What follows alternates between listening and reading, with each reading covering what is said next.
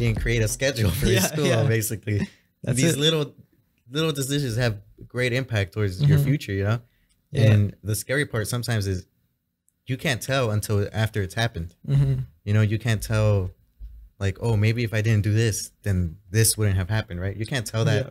until it's it's already happened. So hmm I think it takes courage to be the one to, you know what, I'm gonna pursue this because you don't know what the end results are gonna be. Yeah. It's a risk, hmm but if you have a passion for it, the risk is worth it. I think. Yeah. Everything uh, has a price to pay. Mhm. Like everyone has a price to pay for whatever you're doing. Like if Yeah. uh, if you want something bad enough, you'll get it. But like, there's a price to pay for that. You you're gonna sacrifice time with your family. You're gonna sacrifice time with friends or Yeah. partying or whatever. But that's the price to pay in order to get to where you want to be. The opportunity cost, as Yeah. Miss Carlton would say. yeah. But I mean, that's there's a price to everything. yeah.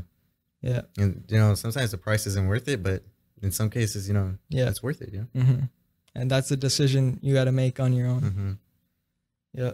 And it's a scary decision. I'm pretty sure. You know, think about it like, um, they were either deciding, you know, should I I give up my college and everything to Mhm. pursue this, or do I keep going the the the safe route? You know, Yeah. the safe route that's gonna guarantee me a job somewhere, hmm maybe, Yeah. He could have. He could have. and not always because there's a lot of people that get their degree, hmm they get out of college, and they have nowhere to go. Yeah. They don't know what to do with their degree. hmm That's that's like one of the biggest things. That's why I looked at it early. Like I saw all this. Like people were working jobs that they don't even like to do, Mm-hmm. and I was like, you have a degree, you have all this stuff. Like you don't even enjoy what you like to do, yeah. what, what you set out to do. Like for me, that that I wouldn't want to live like that. I think at It's, uh, least if you're gonna, if you're living like that, try to pick up a hobby. You know. but like even even if you don't like, realize that you you don't like to enjoy it and realize that you could change that Yeah. you could change like if you don't want to do something there's other things out there for Yeah. you and some people you know they might be a little older like in in their 40s 50s Yeah. but you could still change like there's nobody stopping you except you Yeah. but people get too comfortable with with that- their, where they're at Yeah. already, and they don't and want they too see scared like to change. yeah they see that there's other ways but hmm they're too afraid that they're gonna fail. But failure is a part of success. Yeah. There's no failure and success.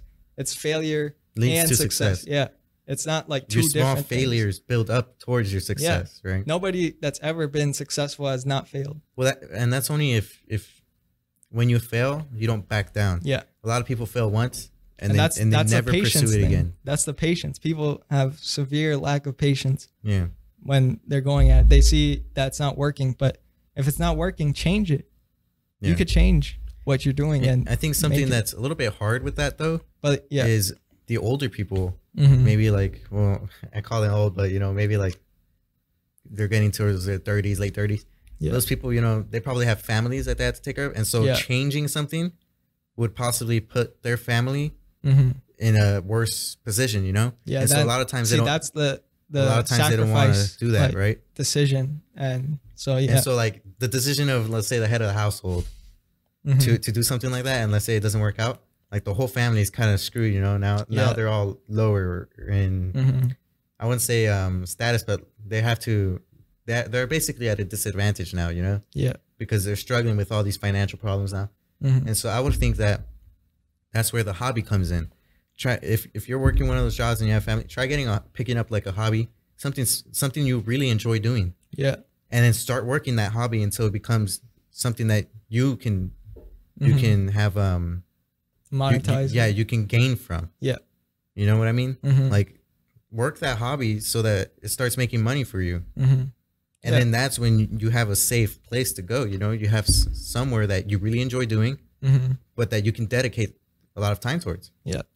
And that's where it starts off. Really, as something you enjoy. Some people find it early in life, you know, like yeah, s- and those I, I'd say those are the lucky ones. yeah, but it takes work to find that too. Like Mhm. if you if you expect to get that just with sitting around, yeah, you're not gonna. No, you have you have to apply have yourself to, try things a lot and of see what you enjoy doing. yeah, there's no way you could do it just like sitting around and Not not yeah, thinking yeah. about you got to ask yourself a lot of questions every single day in your mind saying, uh, I like this, I don't like this.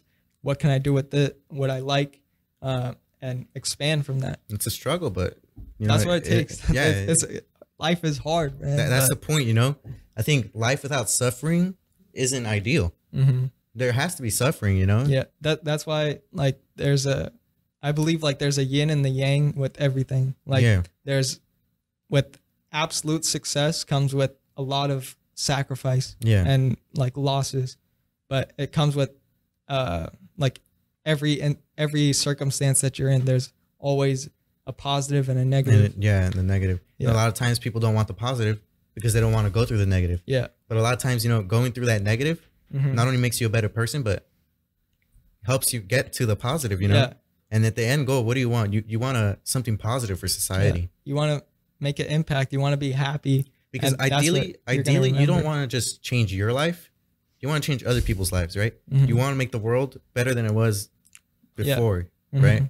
That's ideally which what I would think any sane person would want to do. Yeah.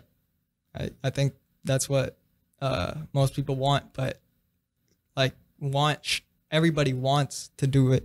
No, but but Nobody not wants to work everybody. Actually does it. Yeah. Not everybody actually puts in the time, puts in the work, and that's the difference. Mm-hmm. 99 percent of people won't do it, but the one percent that do will be remembered in the history book.